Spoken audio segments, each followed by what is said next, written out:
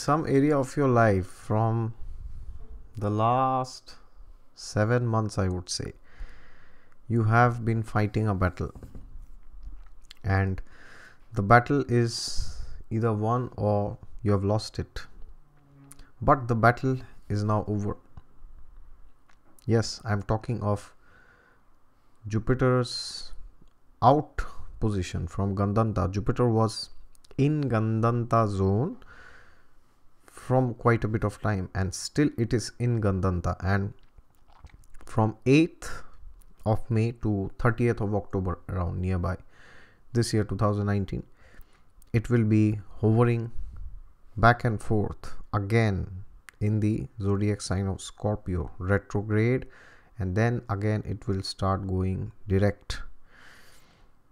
I'll make the video on Jupiter's direct transit later but this is a very important transit because the Gandanta zone will again start after October 30th and around for some time Jupiter is retrograde. So now what happens is Jupiter was in Gandanta. So when a planet goes into Gandanta what happens? Deep long lasting karmic issues they finally come to a culmination it's like the end of something.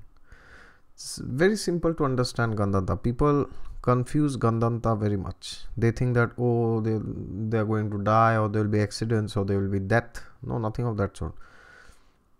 Gandanta simply means that something has ended. So now things could end in a good way or in a bad way also. It's not necessary that things end in a bad way. Suppose for example a person says my education is over. I've finished my bachelor's i've finished my master's now i'm going to do a job. So then that completion is not bad it's good it's great it's glorious. So gandanta does not mean it's a bad transit. So that has to be understood very clearly from day one because there's a lot of fear mongering in the name of gandanta. So now just check which houses Jupiter rules in your chart. So for the newcomers, beginners, Jupiter rules number 9 and 12, Sagittarius and Pisces. Wherever this is falling from your ascendant, again I repeat, again and again people ask this question. You have to check the transits from the ascendant or from the moon. Well, when it comes to physical manifestation, you must check it from the ascendant. So wherever 9 and 12 is falling, you will see that Jupiter was in Jyeshtha Nakshatra before and then for some time it entered Mula Nakshatra. And by the way, for technicalities, Gandanta is 29 degrees of Scorpio to 1 degree of Sagittarius. Yes, and it's the same with Cancer, Leo, Pisces, and Aries. So what happened was when Jupiter was in Jyeshtha Nakshatra from November, December, January, February, and March end. So when a planet transits Jyeshtha, what happens is you try to prove everybody, or at least to yourself, that you are an achiever in that domain. And if this associates with the ascendant or the 10th house or the 11th house or the 5th house also sometimes then I have seen in my limited experience that people also try to prove that they are not only achievers but they are the best. Once there there was a movie, you know, where there was a song when I was very young. I'm the best. so that's what happens when a planet exactly transits Jyeshtha. Now, so now the thing is, uh, fast moving planets will be transiting in Jyeshtha, but you will not notice it literally because planets like you know moon sun mercury venus and mars they move quite fast. But slow moving planets like jupiter saturn rahu ketu they will give their effects. So you can check in your life from october last year and specifically from december you would have very aggressively geared towards the houses which are ruled by Jupiter, depending on your ascendant again, as I repeat. And things came to a culmination in the month of April. April is the month when all all the endings happened. and May is the month after 8th of May you will see that things will now materialize into something concrete but we have to always remember that this is a retrograde motion Jupiter is retrograde so that is why I have given the name game over in the thumbnail because when a planet stations when it's going direct and it becomes stationary we feel that the game is over. And because this is in a gandanta zone that is why we feel that okay something has ended and yes now the game is over. We have ended the battle. But is it so? No it's not so well yes your battle which was which you were fighting from last six months that is over but there's a new battle which is starting. So the game is not over yet. Or you could say the game is over but there's a new game there's a replay mode. So now is the time when a planet is out of gandanta see gandanta is a instable it's very uh, unstable energy which you sometimes feel that what should i make out of it? During gandanta there's confusion for the direction of which side to go which side not to go but now as jupiter by 8th it goes back from 29 degrees to 28 27 degrees of scorpio. You will see that now the knots are not knots anymore. They are cleared. You are your direction is very clear. Where to go what to do how to do. But the only difference is now you you have to come to the battlefield and do it. Earlier when it was in Jeshta what was happening is in direct motion you were preparing to come to the battlefield and you were still fighting. But imagine now you're fighting and you stand still and there is a new big bunch of armies new new enemies. Because if you want to know what this transit looks like you can just check uh, what Jeshta Nakshatra is. Jeshta Nakshatra has significations with Indra. So the issue with Indra is he's very competitive. Although he's a great soul uh, at the same time he's very materialistic. Of course he's the king of the heavens. And therefore he has a tendency eh, the demons the asuras the daityas the danavas they have a tendency to take his throne because they also want to enjoy. And then later on indra has to fight and you know lord vishnu has to take incarnations. And then lord vishnu has to put indra back to the throne. Most of the times it happens like this. So this means that when a planet transits jeshta nakshatra you will see significations related to that that planet are always under threat. Which means suppose let's let me talk with some examples suppose jupiter is your seventh lord. Then it could happen that you finalized your marriage with somebody but then there are some people who are opposing to it. Maybe some relatives or some friends or maybe somebody is eyeing on your spouse. That could also happen some member of the opposite sex could be. Or maybe the person can cheat or anything of that sort can happen. Of course now what happens and what doesn't that will depend on the dasha which dasha you are running. If the dasha is indicating marital issues only then it happens okay? Otherwise it doesn't make sense. Or it can happen that you and your spouse are competing with each other okay? You know you are trying to prove each other you know who how you are superior to whom so these activities are very detrimental for relationships. So trying to prove each other it doesn't work like that. So this can happen for any house depending on your ascendant.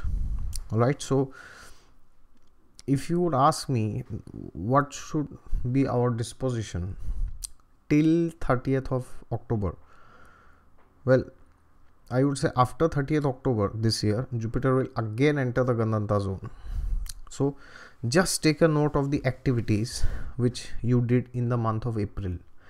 End of march to beginning of may these 6 weeks keep a note of these activities. It can happen and I'm, I'm not giving a prediction here about anybody. It will depend on all 7 billion people of course. But it can happen or at least you will get the flavors of these six weeks. End of march to beginning of may after 30th october also again till mid of december almost. Why? Oh, no, not mid of december i would say uh, end of november. One month. The entire month of november will again have these traits because then jupiter will re-enter the gandanta zone. So that means it's like saying it entered gandanta now and it told you that look the battle is over the new battle begins but then what will happen is after november november begins after october 30th you could see that I thought that the battle was over, but it's still not yet over. So, long story cut short, if you would ask me what to do, I would say personally, play on the safe side. Play on the safe side means do not commit to something which you cannot. If you know deep down inside that is not for me, don't stay there.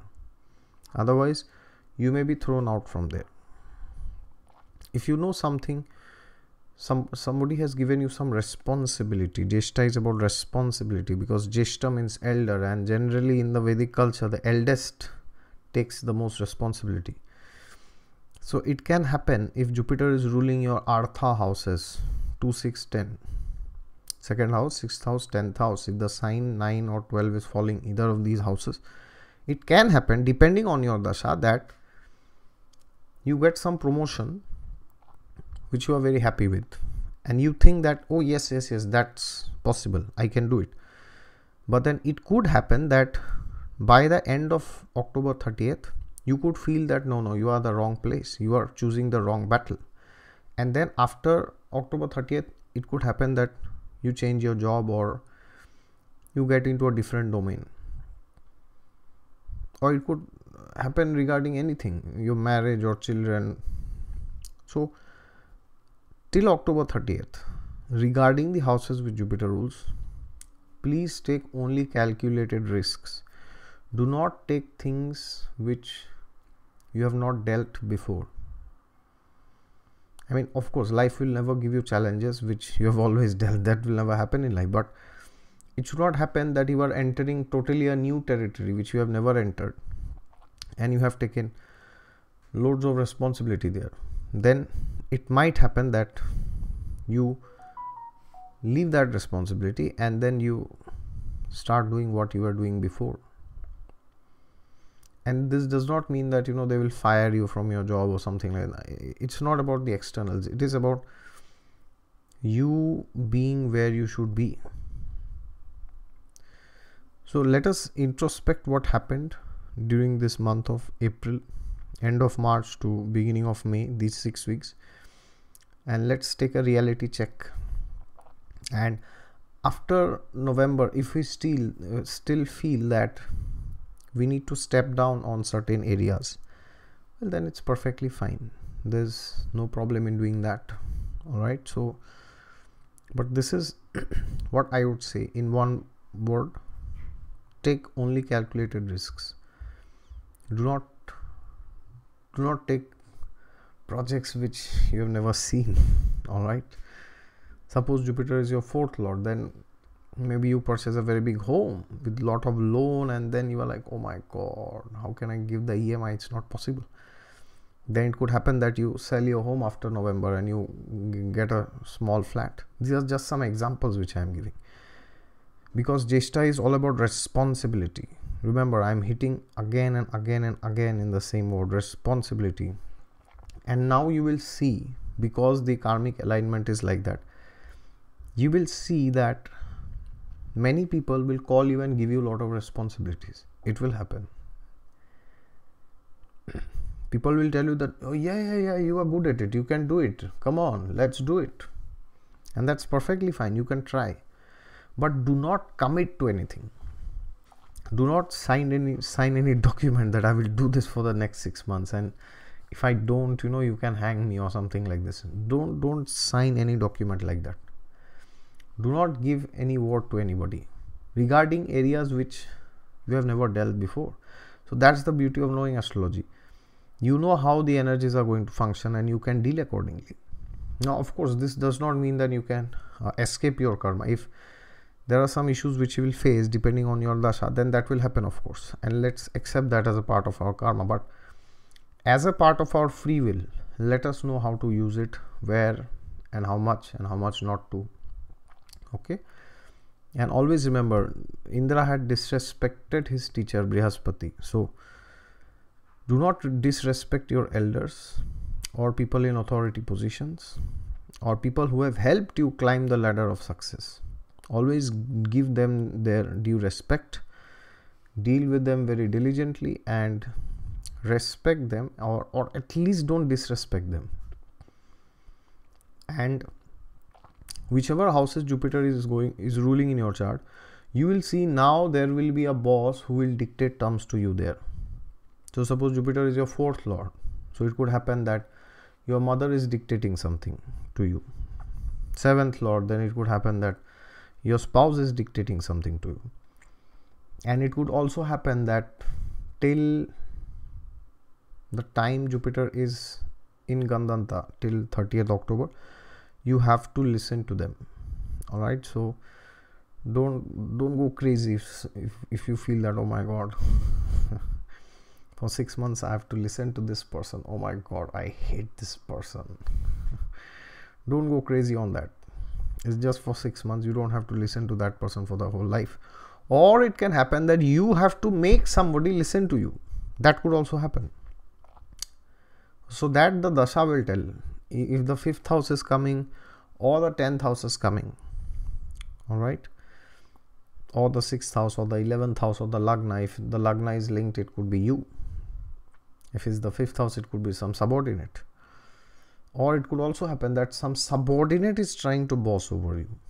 The subordinate is telling you oh sir you need to do like this. That could also happen. All right? Or if jupiter is your ninth lord it can happen that the guru is instructing you. All right so that is what i wanted to say. It's a very important transit and i've made the video on mars transit uh, into gemini with rahu. If you have not watched it, then please watch it. And tomorrow i will be uploading videos uh, on bharani nakshatra because venus is in bharani now. Uh, sorry not not now. It is going to enter bharani but the new moon which is on 4th 4th of may is in bharani nakshatra all right? So it's very important to understand this energy because now jupiter is going out of gandanta saturn is retrograde and mars rahu are also going to be conjunct. So the house where new moon falls the sign the nakshatra is very important. So i'll be uploading the videos back to back hopefully or at least tomorrow I'll upload the first part on Sunday and then the rest maybe by the next week or, or in the weekdays or maybe in the weekends okay? And I also did a recording with Sam JP sir on karma and astrology. I will upload that also and I have also done recordings with Sanati ji on Saturn and Rahu's remedies. Those videos also I will upload. And I've also done a video with Vanita Lanka ji on appearance of ascendance. I will upload all these videos gradually all right so have a great weekend. Wish you all the best and make use of this transit in the best way possible okay?